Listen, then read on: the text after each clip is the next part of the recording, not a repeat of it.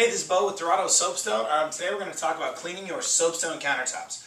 A lot of people out there have got questions about how to clean their soapstone countertops and what they can use. Um, I've got a few different household cleaning items here. We've got Windex, uh, the Clorox disinfectant wipes, 409, just kind of your basic stuff. All of these are safe for your soapstone countertops. Again, you don't have a sealer on your soapstone, um, so you don't have to worry about breaking that down with some of these harsh cleaners. So what I'm going to do is just take a few of kind of your basic cooking ingredients that you're going to have around your kitchen. Um, we're going to plop that right on our soapstone countertops there. That's some jam. We've got a little bit of olive oil there. Um, peanut butter, this is really good um, for this uh, uh, for this conversation uh, because it's got a lot of fat in it, so it's good for a lot of cooking grease and stuff like that. It's a good uh, way to demonstrate that. So you got peanut butter. And of course our favorite red wine. So, put a little bit of that on there. That's pretty typical to spill some of that on your countertop.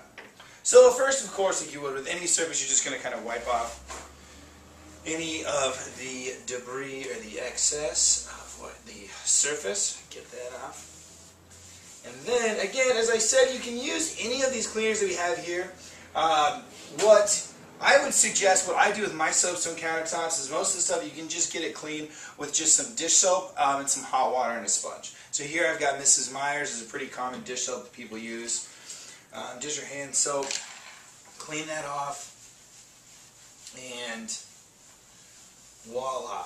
Now, if you've got something that you really want to get off there, and um, the uh, hand soap didn't quite do it for you, you can use any of these. I'm just going to use 409 here. Um, and this is just a 409 antibacterial kitchen.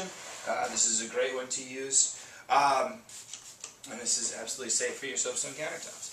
Now, using some of the stronger degreasers that you may have, um, they may at first, at the beginning of your soapstone countertops, uh, they may strip off some of the mineral oil. Um, and that's just with the strong degreasers, but that's really not to worry. You're not damaging uh, the surface of your countertops. You can, again, in the instance that that happens, just take your mineral oil, just like you did when you first got your soapstone countertops, and give it a little wipe down.